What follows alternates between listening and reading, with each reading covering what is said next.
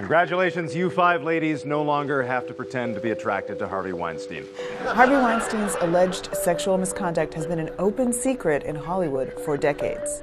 And I think there's a lot of reasons for that. One of them is definitely the power dynamic. He is a person who had a lot of power, and the women who claimed to be his victims usually did not. They were at the start of their careers. They maybe didn't feel like they had a recourse to talk about it. There was a sense that there wouldn't necessarily be any accountability for somebody of Harvey Weinstein's stature. He was known especially for producing movies that got you to the Oscar, which is what every actor and filmmaker wants to get. Thank you, Harvey Weinstein. One of the interesting things about this case is there were a few examples of it coming to light in pop culture. You know, the very people who were affected in some way or at least knew about this misbehavior were addressing it. Has someone coerced you into being here?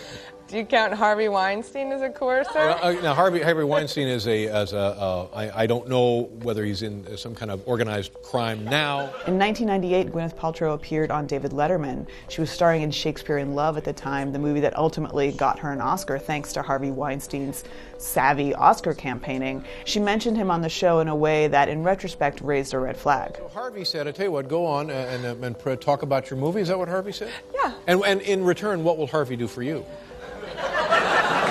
Nothing. Asia Argento, the actress and filmmaker, wrote a scene that was said to be inspired by Harvey in her film Scarlet Diva. It's a harrowing moment. I'm not the big bad wolf. Just think of me as a teddy bear.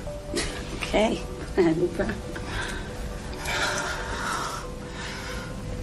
Why don't you suck it? On a red carpet, Courtney Love even referenced Harvey Weinstein's reputation in Hollywood. Do you have any advice for a young girl moving to Hollywood? Harvey Weinstein invites you to a private party and Four Seasons stuff, yeah. The HBO series Entourage, which skewered Hollywood culture, had a character named Harvey Weingard that bore more than a passing resemblance. Do you know back into business. Harvey Weinstein has been thanked possibly more than any other person from the Oscar stage. Harvey Weinstein. Harvey Weinstein. Harvey. But Kate Winslet pointedly left him out of her acceptance speech for the reader. She didn't mention any sexual misconduct, but she said that he had been very difficult to deal with on set. Some of the most pointed commentary came from episodes of 30 Rock, in which an actress character referenced having to have a relationship with Harvey. You don't want to mess with Weird Al. Oh, please. I'm not afraid of anyone in show business. I turned down intercourse with Harvey Weinstein on no less than three occasions. I think it's interesting to see this stuff pop up in pop culture.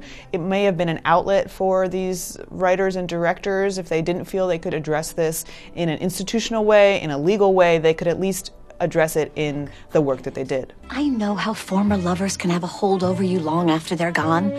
In some ways, I'm still pinned under a passed out Harvey Weinstein, and it's Thanksgiving.